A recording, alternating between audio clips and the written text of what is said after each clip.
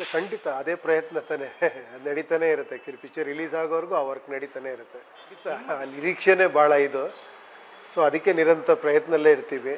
So, ಆ ಕೆಲಸನೇ ನಡೀತಾ ಇದೆ ಇವಾಗ. ಎಷ್ಟು ಸಾಧ್ಯವೋ ನಮ್ಮ ಕೈಲಿ ಆದಷ್ಟು ಚೆನ್ನಾಗಿ ಸಿನಿಮಾ ಕೊಡಬೇಕನ್ನೋದೇ ಒಂದು ಪ್ರಯತ್ನ. ನನಗೆ ಆ ಹುಟ್ಟುಹಬ್ಬ ನೆನಪಾಗಲ್ಲ. ನನ್ನ ನೆನಪಾಗೋದು ಅಭಿಮಾನಿಗಳಷ್ಟೇ. ಯಾಕಂದ್ರೆ ಅವರೇ ಮಾಡ್ತಾ ಇರೋದು ಇದನ್ನು, ಅವ್ರಿಗೆ ಈ ದಿನ ಮೀಸಲು, ನನಗೆ ಅದಷ್ಟೇ ನೆನಪುಗಳಿರೋದಷ್ಟೇ ನನಗೆ ಹುಟ್ಟುಹಬ್ಬ ಅಂದರೆ. ಫ್ಯಾನ್ಸ್ ಬಿಟ್ಟರೆ ನನಗೆ ಬೇರೆ ನೆನಪುಗಳಿಲ್ಲ, ಯಾಕಂದ್ರೆ ಆ ಥರ ನಾನು ಹುಟ್ಟುಹಬ್ಬ ಆಚರಿಸ್ಕೊಂಡು ಇಲ್ಲ.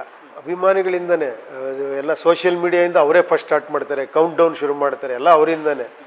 ಈಗ ನಾನು ಜ್ಞಾಪಿಸ್ಕೊಳ್ಳೋದೇ ಬೇಡ, ಅವರೇ ಹೋಗ್ಬಿಡ್ತಾರೆ ಹದಿನೈದು ದಿನ ಇದೆ ಇವ್ರು ಹುಟ್ಟುಹಬ್ಬಕ್ಕೆ ಸ್ಟಾರ್ಟ್ ಮಾಡ್ತಾರೆ. ಸೊ ಅದು ಅದು, ಅವ್ರಿಗೆ ಹೇಳ್ತಾ ಇದ್ದೀನಿ, ಇದು ನಾನು ಹುಟ್ಟುಹಬ್ಬ ಅಲ್ಲ ನಿಮ್ಮ ದಿನ ಅಂತ.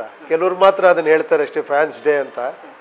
ಎಲ್ಲರೂ ಹುಟ್ಟುಹಬ್ಬ ಅಂತಲೇ ಅಂತಾರೆ ಇವತ್ತಿಗೂ ಕೂಡ. ಅದು ಅಭಿಮಾನಿಗಳ ದಿನ ಆಗಿ ಅದು ಹೆಸರುವಾಸಿ ಆಗಬೇಕು ಅದು ಆ್ಯಕ್ಚುಲಿ ಇಲ್ಲ ಇಲ್ಲ ಅದೇ ವರ್ಕ್ ಸ್ವಲ್ಪ ಏನೋ ಕೆಲಸಗಳು ಜಾಸ್ತಿ ಇದೆ ವಿ ಎಫ್ ಎಕ್ಸ್ದು ಮಿಕ್ಸಿಂಗ್ದು ಎಲ್ಲ ಕೆಲಸಗಳು ಜಾಸ್ತಿ ಇದೆ. ಇವಾಗ ಏನಂದರೆ ಏನೋ ಟೆಕ್ನಾಲಜಿನೂ ಇದಾಗಿರೋದ್ರಿಂದ ಸ್ವಲ್ಪ ಪ್ರತಿಯೊಂದು ಕೂಡ cinema making style of cinema making ಬೇರೆ ಆಗಿರೋದ್ರಿಂದ ಸ್ವಲ್ಪ it takes its own time ಇಲ್ಲ ಆ ಥರ ಅಲ್ಲ. ನಾನು ಕತೆ ಮಾಡಿದ್ದೆ ಒಂದು ಲೈನು ಅದನ್ನು ನಾನು ಹೇಳಿದೆ ಆ್ಯಕ್ಚುಲಿ ಇವ್ರು ಮಾಡ್ತೀನಿ ಅಂತ ಬಂದರು ಅವ್ರಿಗೆ ಹೇಳಿದೆ.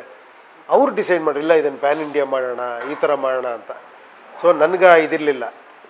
ಒಂದು ನಮ್ಗೆ ಆಮೇಲೆ ಆ ಐಡಿಯಾ ಎಲ್ಲ ಇರಲ್ಲ. ಒಂದು ಸಿನಿಮಾ ಮಾಡಬೇಕು ಅನ್ನೋದು ಅಷ್ಟೇ ನಮಗೆ ಗೊತ್ತಿರೋದು. ಅದನ್ನು ಬಿಸ್ನೆಸ್ಸಲ್ಲಿ ಪ್ಯಾನ್ ಇಂಡಿಯಾ ಮಾಡಬೇಕಾ? ಯಾವ ಲ್ಯಾಂಗ್ವೇಜಿಗೆ ಮಾಡಬೇಕು, ಹೆಂಗೆ ಮಾಡಬೇಕು ಅನ್ನೋದು ಪ್ರೊಡ್ಯೂಸರ್ಸಿಗೆ ಗೊತ್ತಿರುತ್ತೆ ಅಷ್ಟೇ. ಇಲ್ಲ, ಆ ಥರ ಅಲ್ಲ. ಇದು ನಾನು ಹೇಳಿದ್ದು ಈ ಒಂದು ದಿನಾನ ಏನೋ ಸಿನಿಮಾಗೋಸ್ಕರ ಅಲ್ಲ, ಇದು ಅವ್ರ ದಿನ. ಸೊ ನಾನು ಅವ್ರಿಗೆ ಏನೋ ಗಿಫ್ಟ್ ಕೊಡೋದಲ್ಲ ಆ್ಯಕ್ಚುಲಿ ಒಂದೇನೋ ಒಂದು ಪೋಸ್ಟ್ ಒಂದು ಲಾಂಚ್ ಆಗ್ಬೋದು ಏನೋ ಒಂದು ಪ್ರೊಡ್ಯೂಸರ್ಸ್ ಏನೋ ಪ್ಲ್ಯಾನ್ ಮಾಡಿದ್ದಾರೆ. ಬಟ್ ಇದು ಮೋರ್ ಆಫ್ ಏನೋ ಒಬ್ಬ ಆರ್ಟಿಸ್ಟ್ಗೂ ಒಬ್ಬ ಫ್ಯಾನ್ಸ್ಗೂ ಇರೋ ಸಂಬಂಧದ ದಿನ ಅದಷ್ಟೇ. ಅವ್ರು ಯಾವತ್ತೂ ಸೂಪರೇ ಅದ್ಭುತ ಅದು ಆ್ಯಕ್ಚುಲಿ ಅದೊಂಥರ ಏನೋ ಲೈಫಲ್ಲಿ ಕೆಲವು ಮರೆಯಲಾರದ ಘಟನೆಗಳಂತಾರಲ್ಲ ಇದು ನನ್ನ ಜೀವನದಲ್ಲಿ ಒಂದು. ಇಲ್ಲ, ಅದು ನನ್ನ ಅಭಿಪ್ರಾಯಕ್ಕಿನ್ನ ಅದು ಏನು ಆಗ್ತಿದೆ ಯಾರು ಅದರಲ್ಲಿ ಏನೋ ಅದನ್ನು ಸಫರ್ ಆಗ್ತಿದ್ದಾರೆ ಅಂಥವ್ರ ಬಗ್ಗೆನೇ ಮಾತಾಡಬೇಕು, ಅಂಥವ್ರಿಗೆ ಒಂದು ವೇದಿಕೆ ಬೇಕು. ಅದು ಮುಂಚೆಯಿಂದನೂ ಇತ್ತು. ಬಟ್ ಗೊತ್ತಿಲ್ಲ, ಅದು ಯಾಕೆ ಇವಾಗ ಚೇಂಬರ್ ಇದೆ ಆರ್ಟಿಸ್ಟ್ ಅಸೋಸಿಯೇಷನ್ ಇದೆ ಏನೋ ಪೊಲೀಸ್ ಇದೆ, ಕೋರ್ಟ್ ಇದೆ, ಎಲ್ಲ ಸಿಸ್ಟಮ್ ಇದೆ. ಬಟ್ ಎಲ್ಲೋ ಒಂದು ಕೆಲವು ಕಡೆ ಸಪ್ರೆಸ್ ಆಗಿರೋ ಇದೆ. ಅದಕ್ಕೆ ಅವ್ರು ಇನ್ನೊಂದು ಕಮಿಟಿ ಮಾಡಬೇಕು ಅಂತಿದ್ದಾರೆ ಇಟ್ಸ್ ವೆಲ್ಕಮ್ ಆ್ಯಕ್ಚುಲಿ ಅವ್ರಿಗೆ ಏನಾರ ಬೇಕು ಅಂದರೆ ಮಾಡ್ಕೊಬೋದು. ಇರೋದನ್ನು ಯೂಸ್ ಮಾಡ್ಬೋದು.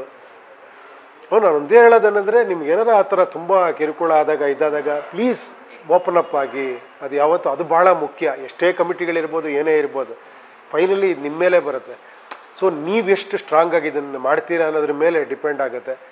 ಖಂಡಿತ ಯಾಕಂದರೆ ಎಲ್ಲರೂ ನಿಮ್ಮ ಜೊತೇಲಿ ಇರ್ತಾರೆ.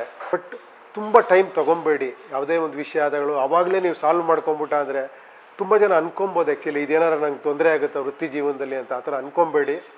ಆ ಥರ ಆಗಲ್ಲ ಆ್ಯಕ್ಚುಲಿ ರಿಯಲ್ ಸಿನಿಮಾ ಮೇಕರ್ಸ್ ಅದು ಯಾವುದನ್ನು ನೋಡಲ್ಲ. ನಿಮ್ಮ ಟ್ಯಾಲೆಂಟು ನಿಮ್ಮ ಇದನ್ನು ಮಾತ್ರ ನೋಡ್ತಾರೆ ಅಷ್ಟೇ ಹೊರತು ಅದನ್ನ ಜ್ಞಾಪಕ ಇಟ್ಕೊಳ್ಳಿ.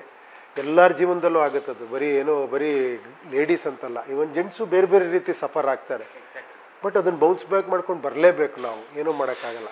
ಇಲ್ಲಪ್ಪ, ಆ ಥರ ಇಲ್ಲ. ಅದು ಅವನಿಗೆ ಬಿಟ್ಟಿದ್ದು ಆ್ಯಕ್ಚುಲಿ ಏನು ಹೇಳಿ, ಅದು ಯಾವತ್ತೂ ಕೂಡ ಅವ್ರ ವೈಯಕ್ತಿಕ ಚಾಯ್ಸ್ ಅದು. ಸೊ ನೋಡೋಣ, ಅವ್ರಿಗೆ ಇಂಟ್ರೆಸ್ಟ್ ಬಂದು ಏನೋ ಮಾಡಬೇಕು ಅನ್ನಿಸಿದಾಗ ಅವನಿಂದ ಅದು ಬಂದಾಗ ಅದು ಸತ್ಯ. ಅದು ನಾವು ಹೇಳೋದಲ್ಲ ಅದನ್ನು. ತುಂಬ ನೋವಾಗುತ್ತೆ ಆ್ಯಕ್ಚುಲಿ ಯಾಕಂದರೆ ನಮ್ಮ ಒಂದು ಕುಟುಂಬದಲ್ಲಿ ಒಂದು ಸಿನಿಮಾ ಅಂದರೆ ಒಂದು ನಾವೆಲ್ಲ ಒಂದು ಕುಟುಂಬ ಇದ್ದಂಗೆ. ಸೊ ಎಲ್ಲೋ ಯಾರಿಗೆ ಏನೇ ಆದರೂ ಕೂಡ ಒಂದು ಪೈನ್ ಆಗುತ್ತೆ ಆ್ಯಕ್ಚುಲಿ ಈ ಥರ ಆದಾಗ ಒಂದು ಯಾವುದೋ ಒಂದು ಒಳ್ಳೇದಾದಾಗ ಅಷ್ಟೇ ಖುಷಿ ಒಂದು ನ್ಯಾಷನಲ್ ಅವಾರ್ಡ್ ಬಂತು ಅಂದರೆ ಖುಷಿ ಪಡ್ತೀವಿ ನಾವು. ಈಗ ನಮ್ಮ ಕನ್ನಡಕ್ಕೆ, ನಮ್ಮ ಕನ್ನಡ ಆರ್ಟಿಸ್ಟಿಗೆ ಬಂದು. ಅದೇ ಥರ ಈ ಥರ ಘಟನೆ ಆದಾಗ ಖಂಡಿತ ನೋವಾಗುತ್ತೆ. ನೋಡೋಣ ಎನ್ಕ್ವೈರಿ ಸ್ಟೇಜಲ್ಲಿದೆ ಅದು ಅವ್ರು ಏನು ಹೇಳ್ತಾರೆ ಕೇಳೋಕೆ ಹೊರಟಿದ್ದೀನಿ ಆ್ಯಕ್ಚುಲಿ ಈ ಒಂದು ಸಿನಿಮಾ ಅವ್ರು ಡಿಕೋಡ್ ಮಾಡಬೇಕು. ಅವ್ರು ಕಂಡುಹಿಡಿಬೇಕು ಅದರೊಳಗಿರೋ ಇದು ಒಂದೊಂದು ಸೀನಲ್ಲೂ ಒಂದೊಂದು ವಿಷಯ ಇರುತ್ತೆ. ನೋಡೋಣ, ಅದು ಎಷ್ಟರ ಮಟ್ಟಿಗೆ ನಂಗೆ ತುಂಬ ಇದಿದೆ actually because they are always intelligent they are masters actually ನನ್ನ ಪ್ರಕಾರ. ಅವ್ರ ಮೇಲಿರ್ತಾರೆ ಆಡಿಯನ್ಸ್ ಅದು ನಿಮ್ಮ ದೊಡ್ಡ ಗುಣ ಕರಿತೀರ ಅಷ್ಟೇ. ನನಗೆ ಗೊತ್ತಲ್ಲ ನಾನೇನು ಅಂತ.